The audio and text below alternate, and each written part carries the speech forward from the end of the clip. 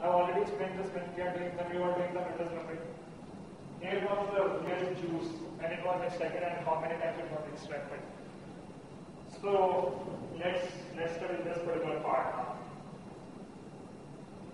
What I'll do is I'll save this export, I'll do the export and save it to the reg format. Let's say 11, 11 dot reg. Save. I'll open this file to Edit Plus or any of your favorite favorite uh, to uh, uh, tool. And now I have this particular part, Arthia, followed by the hex. Now this hex value is 16 bit. Now we'll divide the 16 bit into 8 parts, 8 parts left and 8 parts right. This particular part, 1, 2, 3, 4, 5, 6, 7, 8. This will tell you the date and the timestamps when it was executed, last executed. And this one will tell you the number of times it was executed. So if I'm talking about this, let's let's decode this value. There's a special tool for it. The only tool that can decode is decode tool. So if you want it, I'll, I'll tell you my mail address. You can ask for any tool. I'll give you the tools. Whatever the tools are available to the market at free of cost, send to my partners. So I'll give you this tool. So let's use this tool now.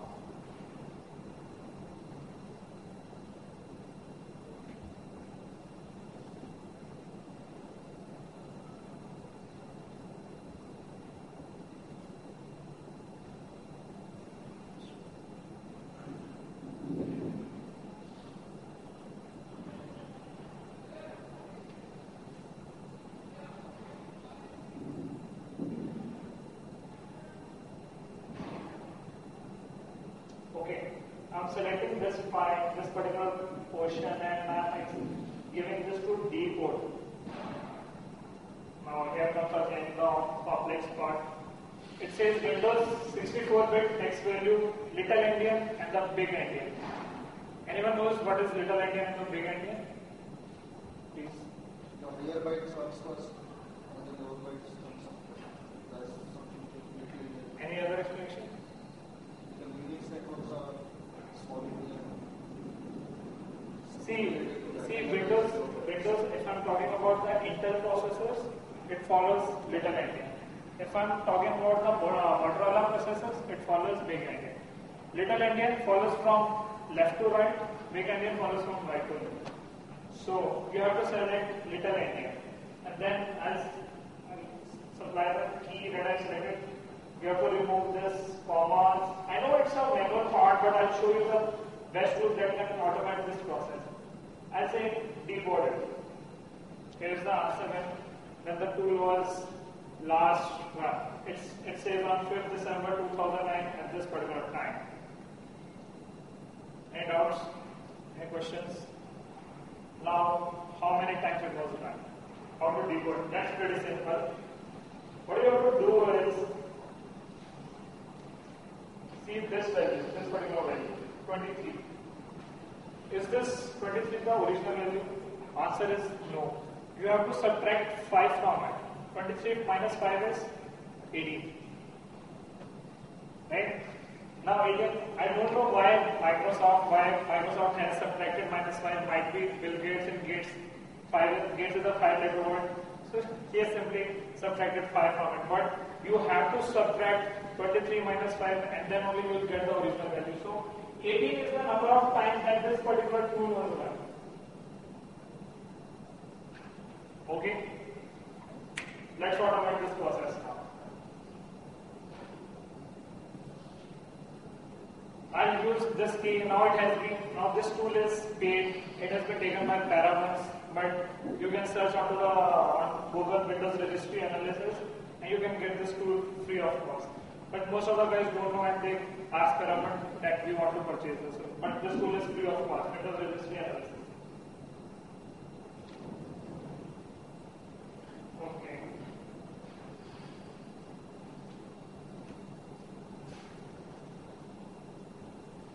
Now, user assist is are present in which key, in which file, NTUSER.DAT file.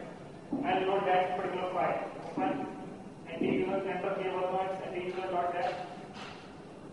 Then I'll go for to tools, file analyze, user assist. Here we go. These are the raw part, and there it's rewarded. Okay, let's come down.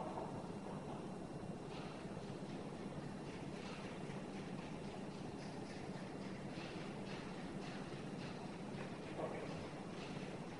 See this file, TrueGroup.lm. TrueGroup, this was the last time it was run. Number of times it was run was only one. So you can easily see the values and get the answer. And. Okay.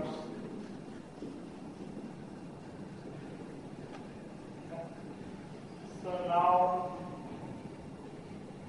what all other things can we look into? Shell bags again, you can see the shell bags.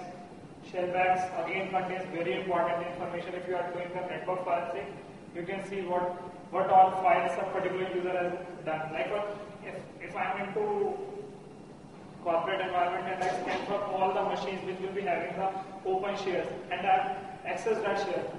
I'm not authorized to do that. But again, if I have done it, I can, uh, I mean, a forensic investigator can take one machine and can see what all, what all network files, network paths I have, I have no access to. So all the information will, uh, I have to look into that. Very good question, but still I have to look at that. I don't know. And this, I don't That- so. That does not get registered into my last run or. uh, Right, right, right. I So agree. So I don't, so I don't think we, it, it will be, it will be there into the registry. I don't think so. In the same manner, you can, you can load the other keys and get the, see all the information that's available.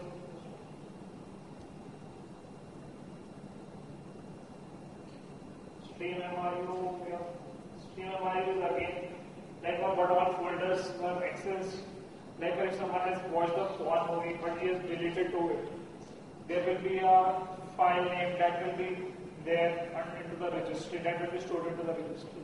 And the end user thinks he has deleted the registry, oh sorry, deleted the file and the evidence is gone. But no, a forensic investigator can think far beyond that and can get the information. Can those be deleted? Which one? Like if I my foreign investigation. Sure, or if I- Why? You can, you can me modify to- the registry. If you can, if you can, me, I delete the file, I delete this. that's why I don't want to tell all these kind of, there's a file between zero and one and there's a file between forensic and the anti-forensic tool. So even if uh, there's a timestamp uh, tool that can change the timestamps of the file, but again, I can extract the information even if the timestamp has been changed. It's really easy, but I need the full image of the laptop or the desktop. I can extract that information. So if a user can change the time, I can extract the file. If he, if he is changing the registry, what all keys he will change? One key, two key, but there will I'll be No, why, why I ask this question is typically in, uh, like five, ten years back or something, sector zero, track zero, if you corrupt that, your disk is MBR. That is MBR. Right, so that, that is typically system privileged sector. Right. Likewise, this, But if, if you are destroying the MBR, a forensic investigator can still rebuild up the No, no, I document. get it. The question was uh, from that perspective, is it open at the user? Because like some APIs are, can, cannot be called in user mode. They They can. can. No, they can. This, these particular files can. I mean, the, this particular keys can be qualified. That's the door. Like if you can change, see, if you can change the product key, then you can do anything into the registry. But you should have been well versed with how the registry is working and how to change the keys. That's it. Don't need anything. It's not a rocket science. It's very easy. If you are clear with the registry, you are a master in methods.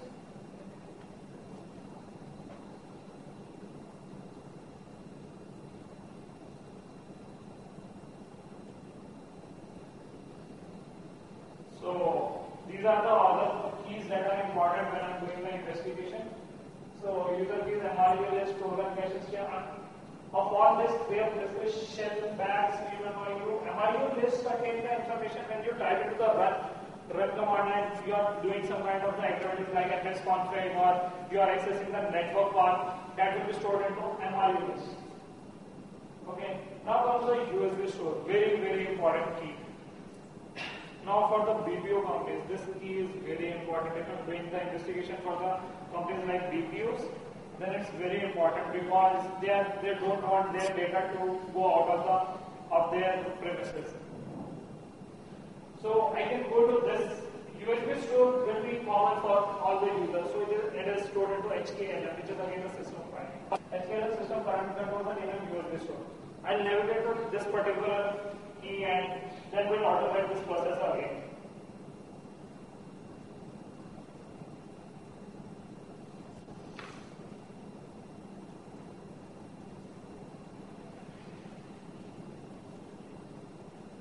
system character for some this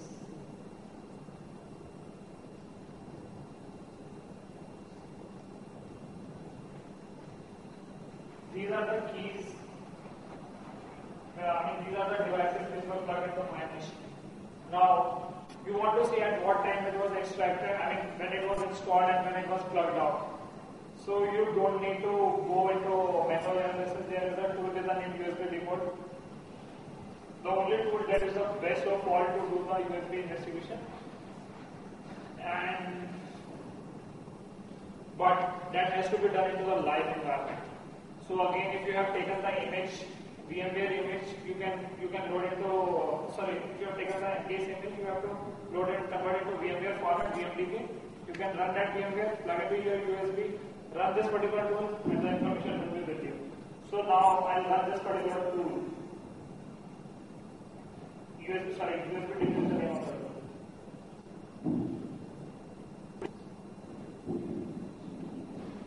See, after device name with the description, then what's the device type? It's a mass storage or it's a USB or it's a Windows message, whatever it is. Is it connected to the machine? Yes or no, whatever it is. Then the serial number pertaining to this, what the date? Then the best of all is last plugged in. last plug in. Now there's a there's a limitation to it that it will be showing only a limited information to it. So by chance, by luck, if it's if your luck supports, then you can see at what time it was plugged or unplugged from the machine.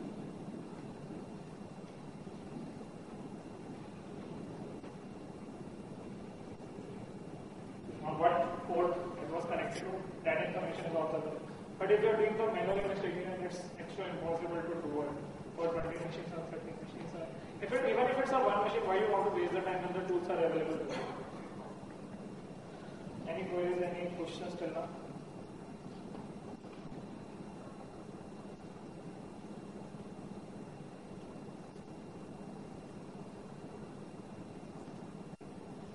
Okay. We have uh, seen tool Windows Registry Analyzer and from into the offline registry analyzer. Like if you want to see the install date of the operating system, so you can use this tool, Windows Registry Analyzer.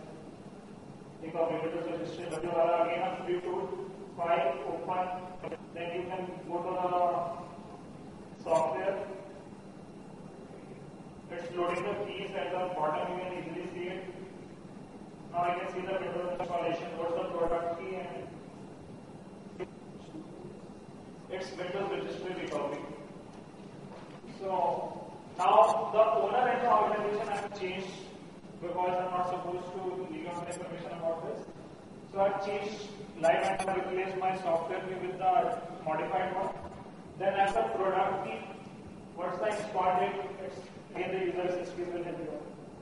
Yeah, fine. Because this seems, uh, it's typically if you have the installer, doesn't matter what technology you use, it has a registry key where it registers. No, if it's a standalone application, then you cannot do it because all the DLL and all, Standalone because it's what you need is just a EXE. just a EXE because all the DLLs are That's fine. That's why we said that's not an installer I call it.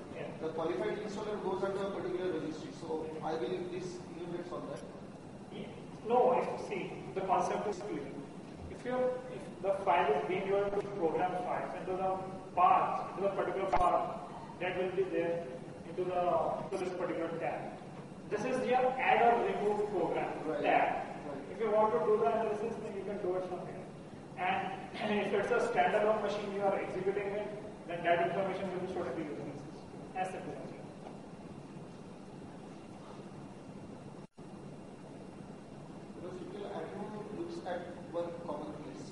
Yeah. Yeah. This information is all, you know, I'm telling you again and again, if you are good into registry, you are master in Windows, because Windows is all about registry. Then again, if I want to see the users that available to the machine, then I can open the SAM file. Then can navigate to this SAM. I can see the machine SID and the product, the syskey, then the group and the users. I can navigate to, I can see NPD to one which is again the administrator, the administrator, blah blah blah users. And forward groups, whatever the groups are available to the machine. You can navigate any of the registry and, and do the analysis accordingly. you can't say to the particular person that it's your machine, you have done this task. You have to see that if there is any attack that has happened into your machine, into the into that particular machine, if that attack has happened using because C tools are available to do the Metasploit investigation.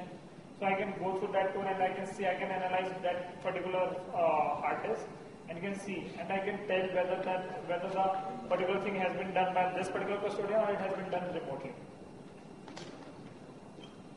I'm telling you it's a 5 between zero and one. If you are doing this, I'll do this. Again, if you are doing this, I'll do this. Any queries?